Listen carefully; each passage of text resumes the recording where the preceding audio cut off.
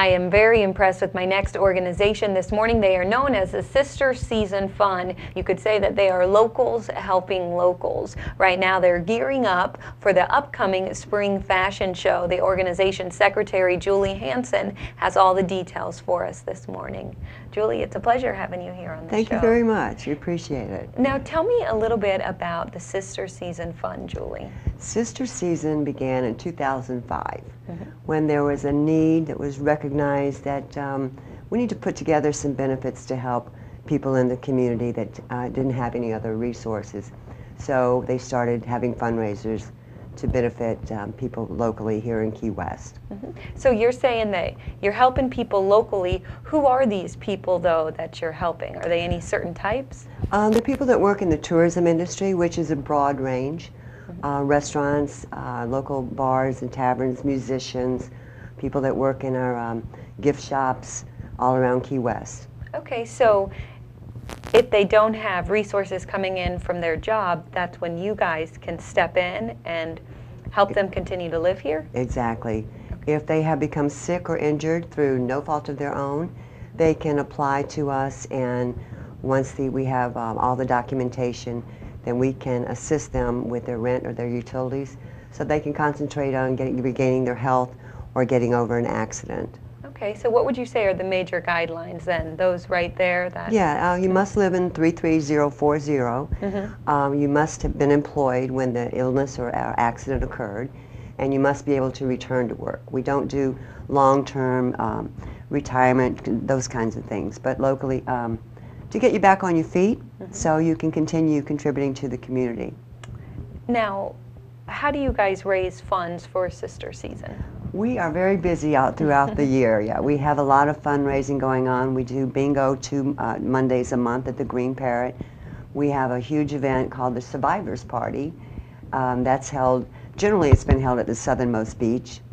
Um, we do bachelor auctions, uh, turkey turnabout around Thanksgiving, and just many uh, smaller venues. And, and it adds up. All this, and this is the community giving back to the community. Now, you have this upcoming spring fashion show, Julie, and this is actually your first fashion show, correct? Yes, we're really excited about it. Yes. And where is it going to be held? It's going to be held at the southernmost house, or some people prefer to say the southernmost mansion. Um, it's going to be March 10th, which is a Sunday evening, and the doors are going to open at 6 o'clock. The show will start at 7. Mm-hmm.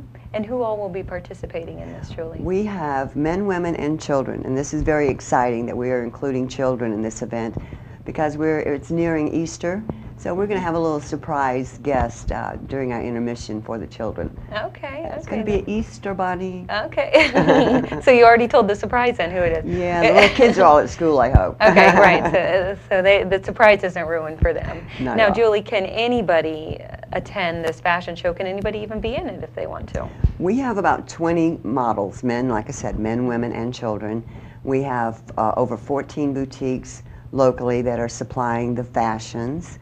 Um, the tickets are going to include light hors d'oeuvres, so we have six or seven, I believe, uh, restaurants that are donating their time and their hors d'oeuvres for the show. Okay, so it's a great way to see some spring fashions, but it's also a wonderful way to help out your amazing organization because all the funds raised, they go right back into Sister Season. Absolutely, 100% of what we take in, we put it right back into to be able to be there for someone that needs us. Great, Julie. I think that this is an amazing organization that you have, and if there's people out there interested, they can find you on Facebook. Just check out Sister Season Fund on www.facebook.com. Julie, thank you for being on this morning. Thank hope- you so much. We hope you have a great turnout. Oh, thank you very much.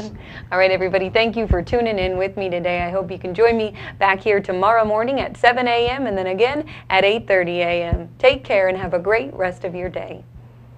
Okay, we're